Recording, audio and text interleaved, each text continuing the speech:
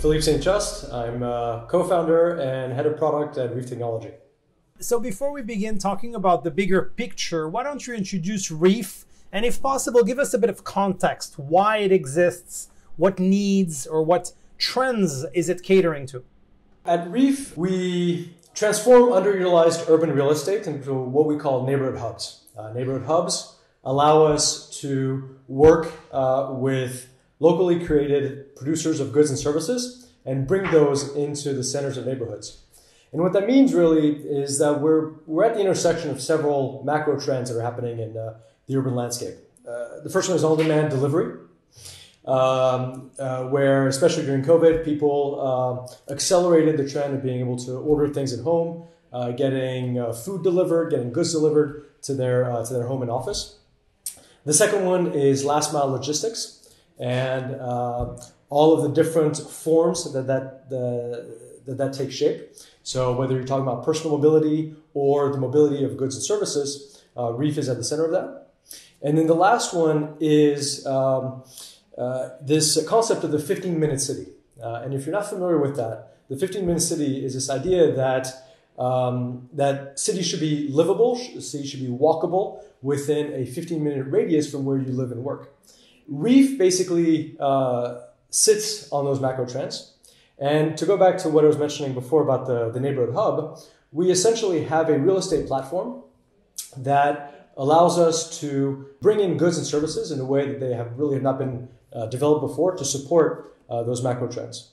That's a, a very uh, succinct and to the point um, uh, answer. So that that's um, that's usually good, good way to explain a, a business model. So um, the good news for us in Canada is that Reef recently uh, decided to grow its footprint.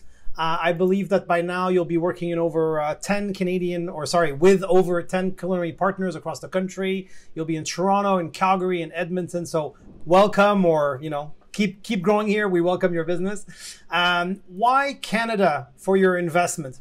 Yes, as you were saying, we work uh, from the west coast to the east coast um, across all of the major Canadian metropolitan areas. And really, for us, Canada was a great intersection of good talent and a, an environment which was very conducive to this, uh, these trends that are at the core of Reef. So, the, the urban renewal and how we were going to take cities into the, the uh, 21st century.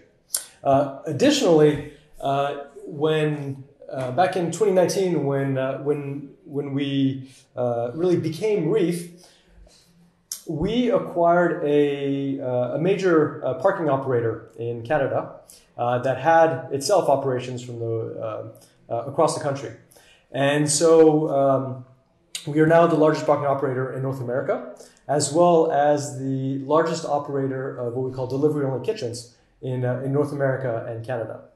And, um, and so having the physical presence as well as the uh, operations and the people uh, really made us a, or made Canada a great place to do business.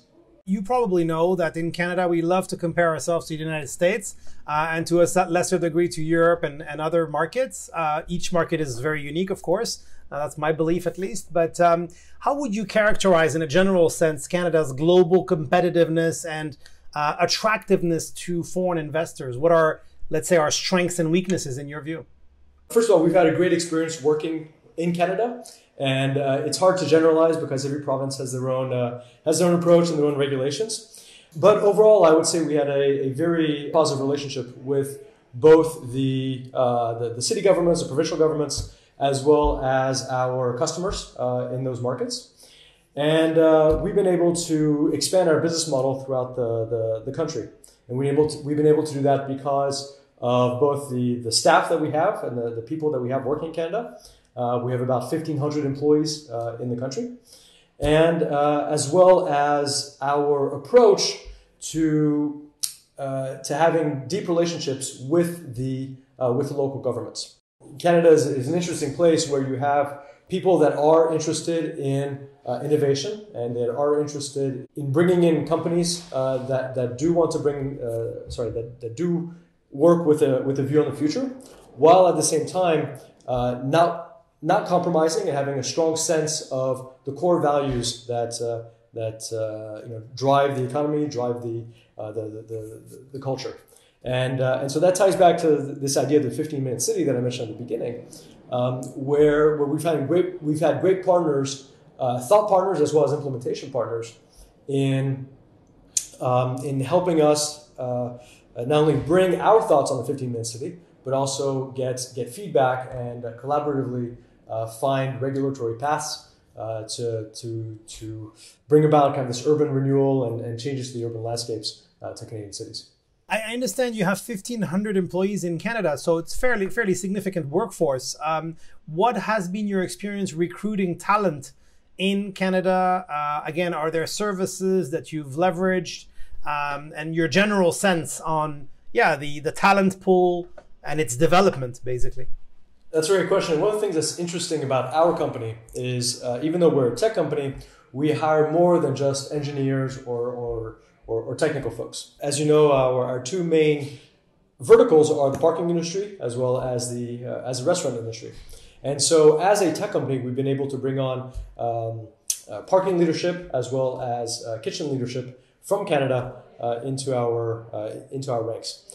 And uh, I would say that finding talent has been, I mean, it's something every company deals with, but, but we've been able to build a great team in in Canada um, as well as continue uh, a lot of the the work that the, uh, the, the, the parking company that we had acquired uh, previous, previously in 2019 had had started. So overall, I would say the talent pool is is, is deep, and we, have been able to recruit well in, in Canada. And what about the innovation ecosystem? Uh, we like to think we're pretty innovative, but I think we also know some of our weaknesses. How do you assess it? Um, again, being a foreign investor, and so you know how how competitive is this innovation ecosystem basically, and how it collaborates with international companies.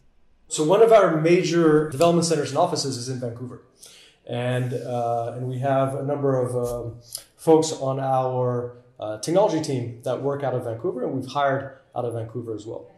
And uh, and I think uh, you know um, uh, Vancouver obviously is in that that west uh, corridor of technology innovation. And we've been able to find good talent as well as partnerships uh, in, uh, in, in, that area. But I would say that, uh, that innovation goes beyond just partnerships with tech companies. Um, it is, in our case, since a lot of our business is about reinventing cities, um, it's, uh, our relationship with the government is also a big, uh, a big part of that.